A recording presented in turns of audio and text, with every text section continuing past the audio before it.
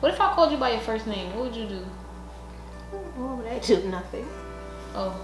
All right, let's chop it up, Ann. Okay.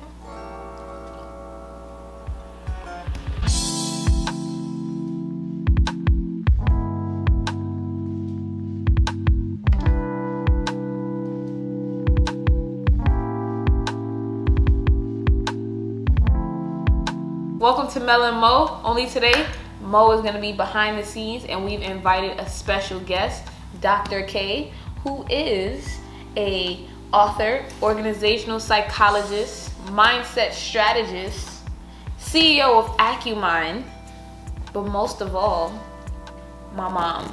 Give it up, give it up. Thank you, thank you, thank you. Welcome to our YouTube, Dr. K. I am excited to be on today.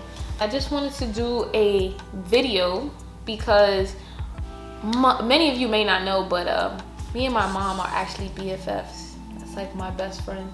We're partners in her company, AccuMind, as well as prayer partners. What else are we? Travel buddies. Travel buddies. What else? Confidant. Yeah, all of the above. All of the above. So we kind of just wanted to come to you guys and you know introduce our relationship.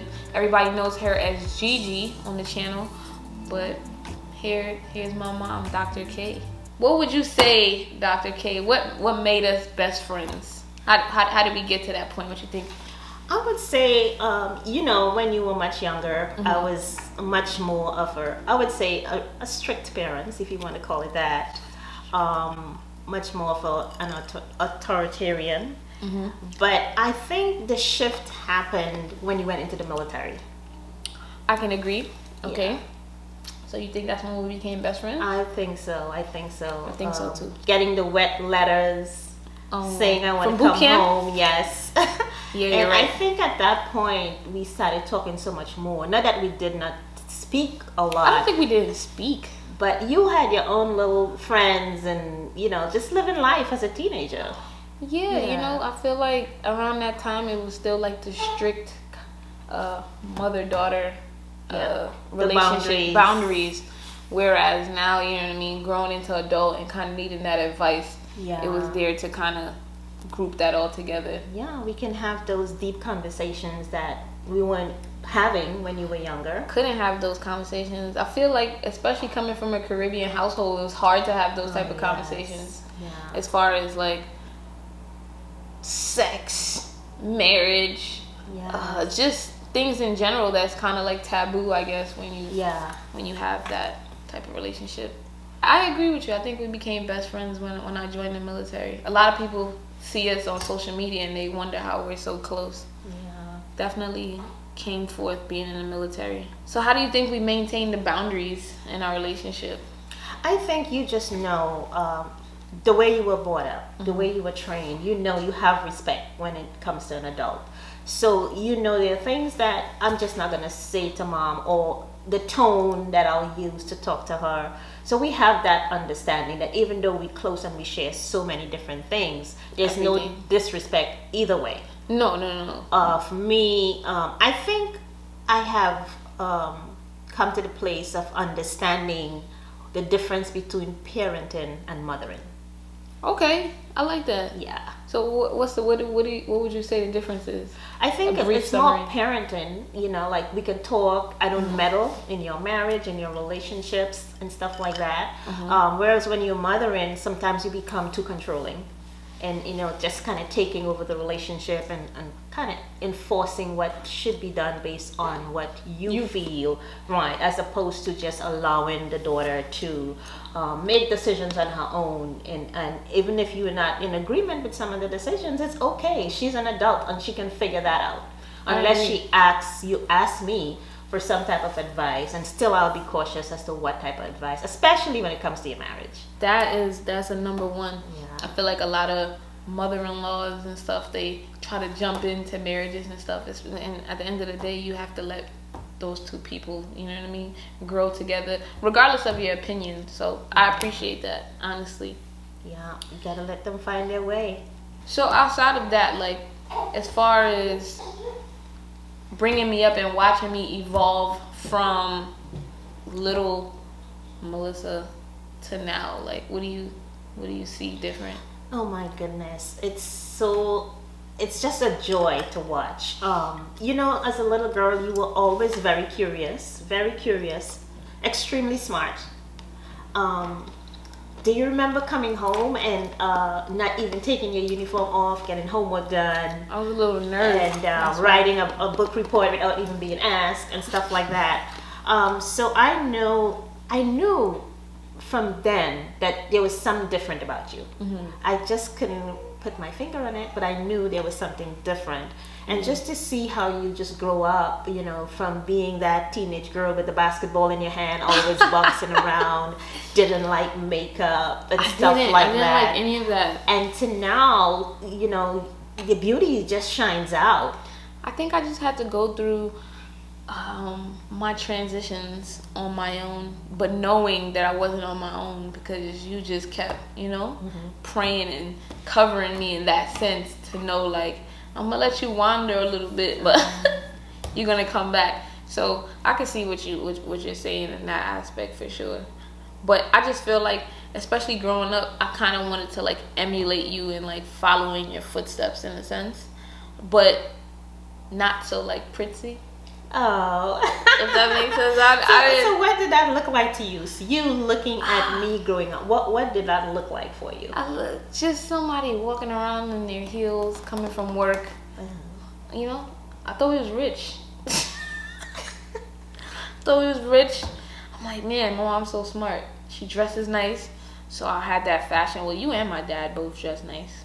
You know, she had that fashion sense. I'm like, all right, kind of want that, but I just had my own little spin to it, you know. And then when when you wrote your book, I was like, oh my god, she wrote a book. Now we're really rich. No, I'm just. but, but, I wanted to do the same thing. I know, and it was just so fun when I mm-hmm. had the privilege. I call it a privilege of birthing that book. You know, going through and and, and helping you to write that book and push you know, push you through the procrastination, and and then we were able to to boot that book and and, and have it published. If you guys don't know what we're talking about, so. Uh, my mom is actually the author of Empower U. You want to tell them about your book? Yes, Empower U. you Build your self worth and know your net worth. And pretty much, I wrote this book um, after having many women coming through my practice, and there was just so many situations where they felt stuck and. Mm-hmm self worth wasn't there. I'm not good enough. And I was like, you know what? I need to put this in writing so it can reach millions across the world. Just letting women know that it's okay. It's okay to to not feel okay sometimes. Mm-hmm. But then you want to work on making sure you have that right self esteem and self confidence. And that was the reason why I wrote this book. And then the second half of this book deals with women and money um, you know, we found that there's some women who don't even know what the finances are in the house right. because they turn everything over to, to their the husband. husband. and that is not a problem. We're in but millennials in, now. I know, and, and in this book, I mentioned where you should know because life happens. Absolutely. And there's suddenlies, right? There can be a death, a divorce, a separation, and they have no clue what where the mortgage is being paid, where the bank accounts are, the retirement, none of those things. So that was the reason I included this in the second half of the book. Well, Dr. K wrote Empower U, which then inspired me later on to write my own book called Perception Wasn't Reality Trapped by Choices, Freed by Purpose. And it's a book actually on my life up until that point, um, 2017, 2018. And it basically just deals with trials, tribulations, overcoming, thinking you you know and you have your life figured out when in actuality the perception of what you feel isn't wasn't even reality, and it's a really good book, if I must say. I've, I've heard is. that's what I've heard. Yes, it I don't absolutely know. is. I mean, they're yes. both motivational. They're both absolutely. books that can really help you get to the next level if you feel stuck. Because a lot of us feel stuck and trapped, but these books really can help you. They're very empowering. And um, along the way, mm-hmm. I had this affinity for kids, right? Mm-hmm. And uh, let's say when I lived in Hawaii for a while, I started wanting to write. and um, out of that came. Oh, book. Yeah, my children's books. I am he. and I am her. And these books pretty much, I've after dealing with the adults and realizing how some women get stuck in their thoughts and um, negative thoughts and that become really toxic. I figure if we can catch the kids from an early age, Absolutely. like you know, um, Mo was reading uh, "I Am He" to Cairo while he was in the womb, right? Because this is a book of self-love and affirmation, and um, so wanting kids to have a different mindset. Absolutely. And if they start understanding that our thoughts drive us from an early age, and we have the ability to change our thoughts, we have the ability to use our imagination and real and visualize the things that we really want to see happen. Because just like the vision board, Yes. it brought things to life. It's the same way. absolutely. Exactly. We can use visualization uh, and our imagination and, and have a vision for our lives. And so this is what I would want kids to know. And so uh, Kingdom Mind Academy is where these books, uh, and there's going to be more stuff coming for the children, as well as other coaching programs that I have under there. All right. So- but outside of that, how do you think we became prayer partners? That's Oh, a good question for you. How do you think we became prayer partners? How we became prayer partners. I remember when you didn't even like to pray out. Oh, pray out loud. Yes. Well, don't say don't like to pray for people. No, I said out loud. Okay, yeah. Um, we know we would gather every morning, your And- brother yeah. and, and you and myself before school, and we would pray. Um, and you would always like, can I just pray in my mind? Like, you know. And um, I think going into the military is when you started, you know, being alone and dealing with so many different changes. Um, you remember that foundation. that foundation, that covering. Yeah. Absolutely, you you wouldn't even like imagine how much things actually transition with you, and and and follow you as you get older. But then I finally became a praying mantis. Yeah, absolutely. I mean, that's when you just understand and learn what it is. It's like to be in your prayer room. you I have know? I, I I definitely had a prayer closet Mm-hmm. That I religiously, faithfully stay there. Um, especially when you're going through things, and if you don't know God and have that foundation to be able to go back to, that can be like torment because it's like, what's your outlet, you know? So that was a big thing for me. And then it got to the point where I would just call her on the phone, like, "What you doing? You want to pray?" Yeah. Which is so weird because I never thought I would do that. I just want that to be so clear. But when you finally gain and build that relationship with God to where it's just like something you like you quench and you need, it's like, hey, let me let me uh, couple up with somebody else so we can pray. I mean, I mean, it took time. It you know, it wasn't like you know, all of a sudden you, you know, and we just don't want people like, oh, I'm this holier than thou person. But you know We- what we- your I'm anchor is. yeah. You know, we know we've seen results, what prayer can do, and so that's our go-to. You Yeah. know. I don't. The thing about it is, you don't. I don't ever want people to uh, feel like we have like arrived at some point. Yeah. And, you know, it's like no. This is a, a daily transition. This is a daily thing that you have to be committed to, and know like some days you like, oh my god, I forgot to pray. I don't have the energy in me. Yeah. And and be okay with that, knowing that you're not perfect, but you're a work in progress. If that makes sense. What I mean? Exactly. I think I remember there was one time I was just in having those moments, and I think that was the first time I said like, uh, "Let's pray," and she's like, "Okay," and she's waiting, and I was like, "Can you pray?" And she's like, "Oh." Yeah, yeah. And that was probably Yeah. the first time like I heard her really prayed out, and it, it was like, "That's a mini me," you know. Literally, right? Yeah. So you know, one of the things that I would want to ask you, uh, because of our relationship, uh, I don't know, I don't even remember.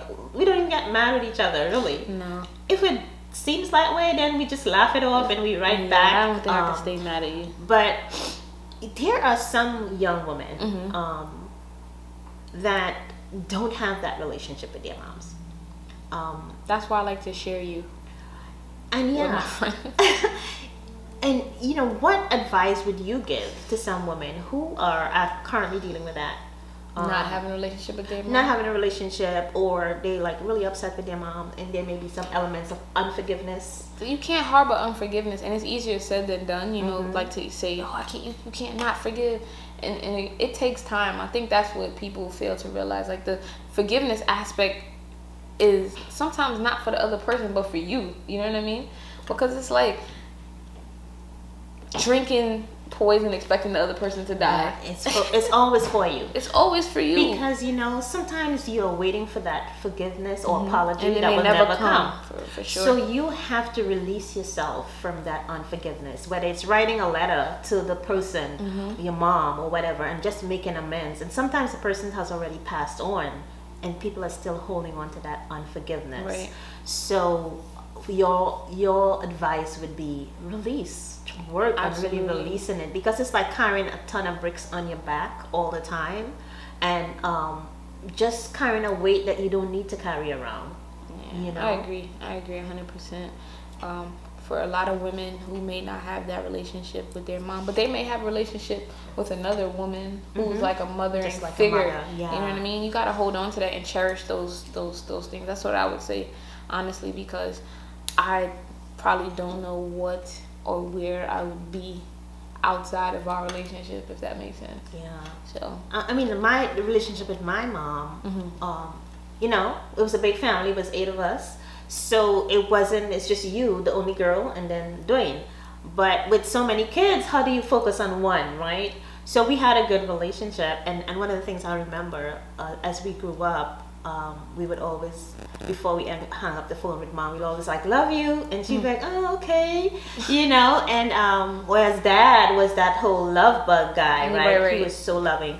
And eventually she started responding, right? Okay, love you too. Because her growing up with her her, her mom or her grandmother, that wasn't a thing. A normal yeah, to you, you know, you get fed and clothed and that's it. Yeah, the But actual maternal yes, things. That I love you thing it wasn't in her generation was really not something that she But that knew. didn't. But that didn't alleviate the fact that she actually loved you. I just think some some women, some parents don't know how to express Right. that because because of lack of never hearing it themselves or not knowing how to do that. That's it right in there. turn, and then you'll have the daughter or the son, whoever it may be, who may feel like they're missing this piece because they are requiring something that the person doesn't actually have to give or have never learned to give that. So I think communication plays a big role in that. Like, hey, you It know, does. And you know, uh, one of the things I like to say, you know, like we prob- sometimes when we have those, you know, rocky relationships with our parents and be really upset with them, they're probably given everything that they have. You know, That as they say, this is sure. all I have. This is the full capacity of what I can give to you, Mm-hmm. and that's enough. And we have to learn how to be okay with that. That we want a gallon, and maybe they can only give give us a- pint. for sure. And so we have to understand that's what's in their capacity to Mm-hmm. give, and we need to learn how to just embrace that. So at that point, I did embrace that with my mom, but later on, she learned how to say "I love you," Mm-hmm. and um, that didn't mean she didn't love us. She just didn't know how to express it. She wasn't that expressive type. Whereas with me, uh, I learned to be really, really expressive with my kids um, because I know what that nurturing does for children. got you. Yeah. So um, that's pretty much, you know, um, as I said with the kids, also we want to really understand how to allow kids to have what I call a growth mindset. And so I had another aha moment, and I wrote a journal for children, um, and it's the growth mindset journal. Right, and so that's really helping kids to have a more open mind, um, you know, about things and not feel closed in, not feel that they can't speak to their parents and parents can't open up to their kids. Growth uh, mindset for tweens. Yes. It's all about progress, not perfection. That's a good one. Absolutely, yes. So that's between the ages of say 9 and 12, 13. Okay, okay, okay. As you can see, she has a whole lot to give, a whole lot to offer. Hence why she came up with Acumind Coaching, in which she's the CEO and I'm her partner, Coach King. Yeah, because you know one of the things that we have to understand is legacy. And Acumind coaching is part of the legacy. So at, at the moment when I am ready to come out of this, then it gets passed on to her, and she can continue. I don't know, pass it on to Cairo or whoever else. Or Um, maybe pass it on to a girl. Yeah, If- but this is it. It's all about building legacy. And so um, I work with women in their 40s, 50s, 60s, 70s, and beyond. And I am the millennial coach, Coach King. Um, 20s, 30s, teens, teens, 20s, 30s. Yeah. That's my lane. Really? Obviously, I have good training and certifications. Yes, absolutely. You know, just helping these women to thrive and not just survive. So you can subscribe to drannkappel.com and you will receive a free copy of my ebook, The Empowered Woman, and you will also be able to be added to our new monthly newsletter. So Okay, looking okay. forward to seeing some of your emails in the AcuMind Coaching under drannkappel.com. and you can go to www.purposelyliving.net and purchase a copy of my book. It's also on drannkappel.com's site as well, but that is briefly um, us just talking about our relationship without getting too crazy and introducing what we do, our mother-daughter duo, Cairo's Gigi. So, Not what are some final words if you want to leave with some um, mother daughters out there? Um, I'm not saying you have to be BFFs with your mom, but it is a great feeling. It is a amazing thing to be able to call her no matter what and say, "Hey, this is going on," and know that she's not going to intervene or overstep or do anything, but just just be my mom. And then sometimes be that parent and that coach that I need. It's getting like the best of both worlds. So to any mothers and daughters out there who may be subscribed to our channel, I will definitely say if you don't have that relationship, you should start to try to build and progress into having that bond and that relationship with your daughter or your mother because it's something I, I can honestly say that it soothes the soul. It's like being swaddled. Being swaddled. And I mean, one of the things I would just say uh, as a final takeaway uh, to mothers learn to listen. You know, learn to listen. Sometimes we don't need to say anything. Sometimes they, they the girls, the woman, young women, they just need a, a, a sounding board. So that's what I learned to do. I learned, my son used to say, "Mom, you don't listen," but I've learned to listen and mother when there's a need and parent when there's a need to. Learn to listen. Learn to listen. Outside of that, my travel buddy. Oh, Wes, we've had some awesome trips together.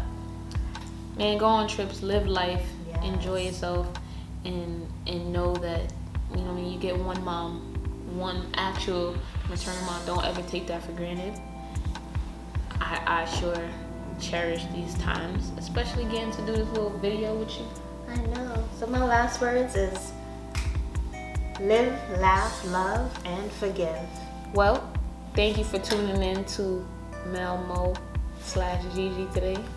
Uh, it was cool catching up with you guys. Um, don't forget to like, comment, and what, Mom? Subscribe. Hey.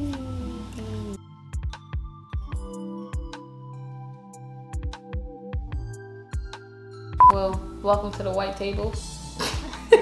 no, I'm just playing. Welcome to Mel and Mo, but only today, Mo is taking a leave of absence.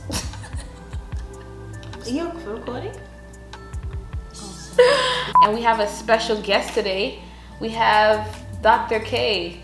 What are you, Dr. K? Let me start again. All right. Yeah. I mean. Yeah. Okay, let's do that over.